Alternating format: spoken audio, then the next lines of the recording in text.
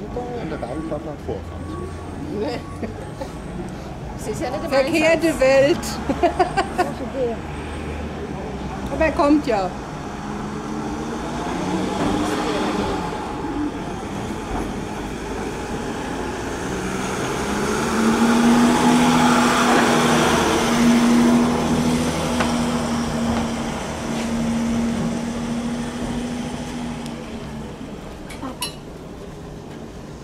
Toll, Paul macht der Horn an.